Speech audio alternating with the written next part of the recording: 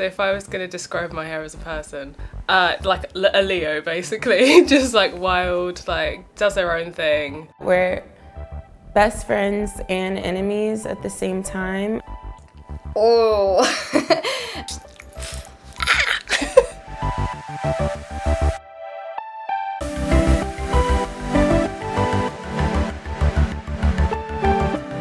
Curly hair takes a lot more work than you would think. It is like its own person. It does what it wants when it wants. It's like having a moody sister.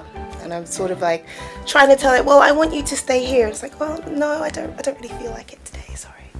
On a good hair day, my hair makes me feel like nobody can tell me anything when it's done, when it's laid, when it's right. But when it's not, it, it humbles me a lot.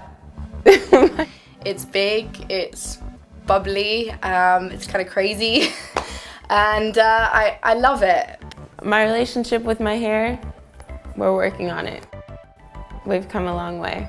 As for right now, I feel like the relationship with my hair is really positive and carefree as I'm allowing it to be whatever it wants to. My relationship with my hair is great now, but definitely didn't used to be. Where I grew up, there was no one else with my hair type, and um, I didn't see it in magazines, I didn't see it on TV. I felt very different to everyone else, and I guess I just wanted to fit in.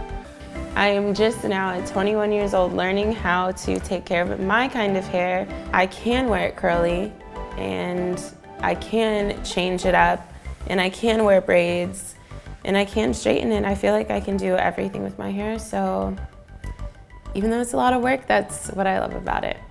Growing up, I didn't, I didn't like my hair. It was very frizzy and I had braces and it wasn't straight and blonde and flowy and fabulous. Growing up with my hair, it wasn't the texture that I wanted it to be. And I tried my hardest to make it look certain ways and I pulled and I tugged and, and it wasn't having it. When I was probably like 15, 16, one of my friends influenced me and was like, you should get a weave. It was plastic, pretty much. I got it installed, I still rocked it, it was long. And I was walking around with this mop on my head. It was a rude awakening into the hair scene.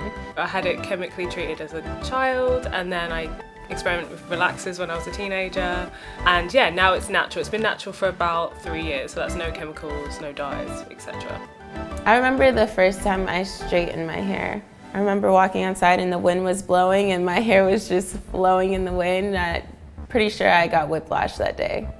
So I'd literally come home from school and straighten it and in the morning spend hours straightening it just to have dead straight hair. I've got a really good relationship with my hair now, even when it rains, even when you're touching my hair, even when it's humid outside. And it was only until the sort of rise of social media that I've learned how to manage my hair. Now it's uh, it's it's more of a love-love relationship, but hate when you're unreliable. I love that it's so big and it's just a great conversation starter as people always want to know how I get it like this, what I use. So yeah, I love so many different things about it. I can have it straight, I can have it curly, I can tuck it all away, put it under a wig and do everything I need to do to a wig to have a different look if I want to. Um, but I really love the afro texture of my hair. I don't know, I guess it's a statement. I feel like sometimes I can just look like absolute trash, but if my hair's done, it's fine.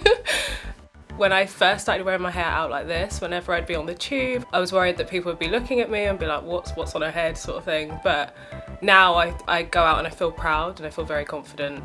My message to the hair industry would be to be more inclusive of all shades and all textures.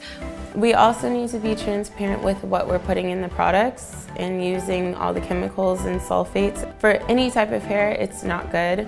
When I see a billboard of a woman with natural hair, I don't want to see her with just my complexion. I want to see darker skin tones and I just want everyone to be celebrated in the hair industry. So brands, you guys need to fix up, okay?